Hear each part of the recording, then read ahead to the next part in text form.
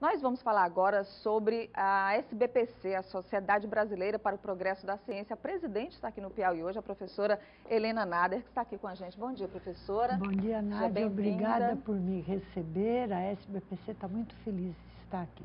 E a gente também, porque a gente sabe que a Sociedade Brasileira para o Progresso da Ciência, que também tem é, representação aqui no estado do Piauí, luta por pautas muito justas, né? não só para o Brasil, e no caso hoje aqui a senhora participando de uma audiência na Câmara, participando também de uma sessão solene na Assembleia, de audiência com o governador Wellington Dias, com o prefeito Firmino Filho, com a comunidade científica de uma forma geral, traz pautas importantes, como por exemplo a situação do Parque Nacional da Serra da Capivara, a necessidade de um apoio político e financeiro maior ao parque, que inclusive corre o risco de fechar, não é, professora Helena? Com toda certeza, o parque é um patrimônio mundial, foi tombado pela Unesco. O Brasil tem que se apoderar desse parque é, se nós não o transformarmos rapidamente, talvez uma organização social com afluxo de dinheiro, né, de recursos constante, nós vamos perdê-lo.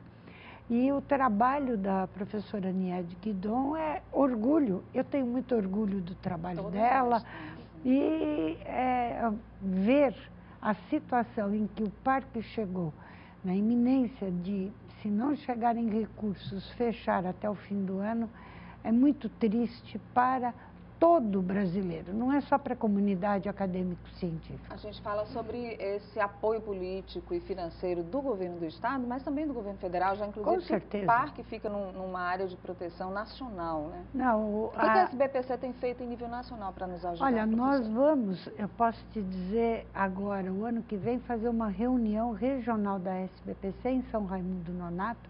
Eu quero daqui já no Piauí, agradecer ao nosso secretário regional, professor William, que está aqui no estúdio, pelo trabalho maravilhoso que ele vem fazendo. A ideia nessa reunião é de sensibilização, trazendo ministro da Educação, ministro da Ciência e Tecnologia, ministro da Saúde. Eu acho que ali tem que ser um esforço conjunto de todos os ministérios. Ah, do jeito que está, nós sabemos que não pode ficar. Ela tinha um trabalho maravilhoso com a parte de educação, que você viu, ela precisou cortar uhum. porque não tem os recursos.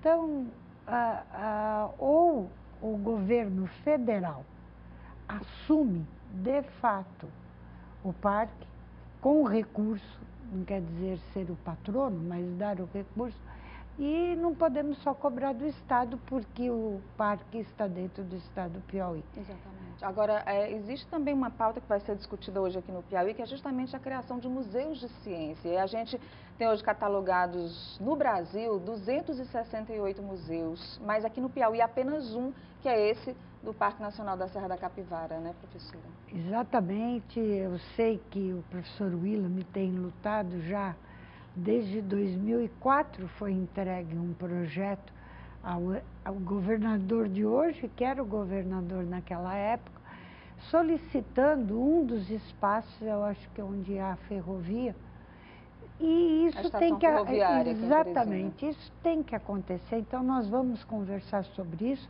e vamos conversar também sobre o financiamento, porque a, a educação e a ciência são estruturantes para uma nação. E hoje, quando você olha a Constituição aqui do Piauí, você fica feliz, você desoba 1% né, para a ciência. Sem os papel, né? repasses, né? fica difícil. Então, nós vamos parabenizar a todos por terem tomado essa iniciativa por 1%, mas, de fato, fazer chegar eu vejo com muito orgulho o que está acontecendo no Piauí. Quer dizer, o que está acontecendo no Brasil. Mas vamos olhar que esse estado, em 98, não tinha nenhum programa de pós-graduação. E hoje são muitos. Vocês têm duas universidades, federal e estadual, espalhada pelo estado, sem contar as privadas.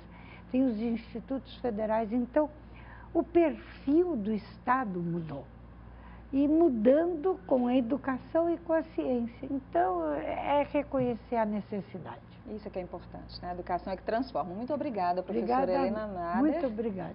Que é a presidente da Sociedade Brasileira para o Progresso da Ciência, visitando hoje, trazendo essas pautas importantes para serem discutidas aqui no nosso estado.